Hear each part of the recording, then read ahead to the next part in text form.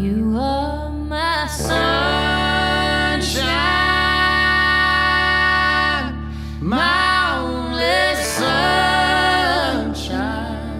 And all of a sudden it came to me, it's like, make a concept record about Southern families, what you know. It's, uh, the artists you work with, they're all from, from the South. It's like, it's very natural stories to happen, stories about, you know, grandparents, mothers, children, really deep stories that, you know, that maybe you remove the window between the artist and the recording.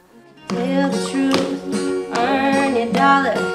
Let not your heart asunder. Save yourself, in faith. Good things come to those who. Let your daddy. Miranda Lambert was on the original list, you know, maybe we can get Miranda Lambert, but nobody really knew her, and she's a mega star, and there's no way we'll get to her kind of deal. I run into Miranda out one time. I don't really know her very well at the time, and, and she's like, I heard about your record. It's like, what, I'm not cool enough to be on your record, you know?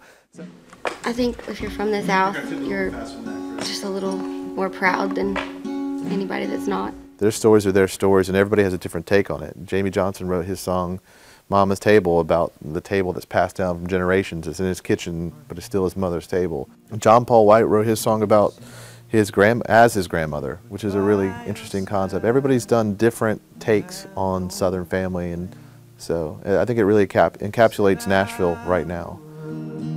Long time ago, but when he comes calling,